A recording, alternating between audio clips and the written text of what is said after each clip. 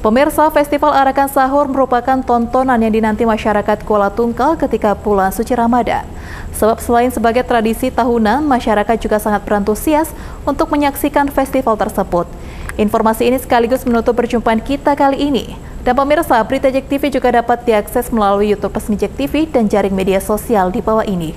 Terus perbarui informasi Anda melalui saluran berita resmi Jack TV. Akhir kata saya Rinda Udina pamit undur diri. Sampai jumpa Jack TV, inspirasi kita. Pada minggu kedua Festival Arakan Sahur di Kota Kuala Tungkal, antusias masyarakat cukup tinggi dan tetap setia menonton Festival Arakan Sahur.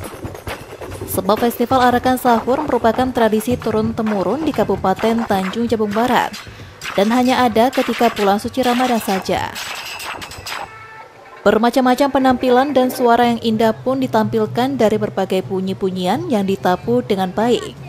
Seperti beduk gamelan gong dan trompet oleh peserta yang mewakili dari berbagai masjid dan perkumpulan kesenian tradisional yang ada di Tanjung Barat.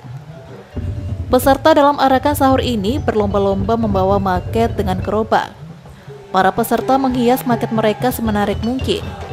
Sebagian besar hiasan maket ini bernuansa Melayu, religi, Ramadan dan Islami. Berbentuk seperti perahu nelayan, unta, masjid, Ka'bah, Al-Quran, dan lain sebagainya. Serta memainkan musik tradisi dalam pelaksanaannya.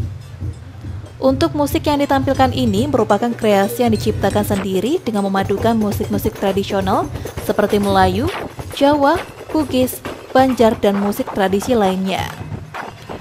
Salah satu warga Kuala Tungkal, Wahyudi mengatakan di tahun 2023 ini, momen bulan suci Ramadan dan Festival Arakan Sahur dinilai cukup meriah.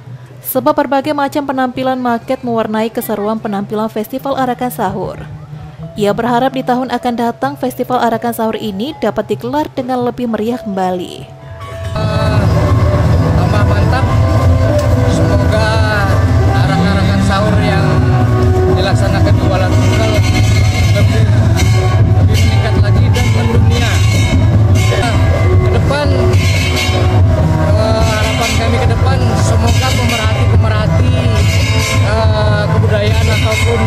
Pariwisata yang ada di Kabupaten Tanjung Barat agar dapat lebih tingkatkan lagi. Hal senada juga dikatakan warga lainnya Alia. Dirinya berharap festival Arakan Sahur ini selalu terjaga tradisinya dan tetap dipertahankan. Sebab ia selalu menjadi penonton setia Festival Arakan Sahur setiap eh, tahunnya. Uh, tanggapannya semarak sekali dan itu cuma ada di kota Kuala Tungkal. Jadi antusias masyarakat benar-benar terbukti dengan uh, ramainya mereka berkunjung melihat Arakan Sahur. Ke depannya semoga tetap bertahan ya, karena sayang ini uh, ciri-ciri Arakan Sahur ini cuman maskotnya, maskotnya Kota Kuala Tungkal dan cuma ada di Kota Kuala Tungkal. Sayang kalau sampai nggak berlanjut.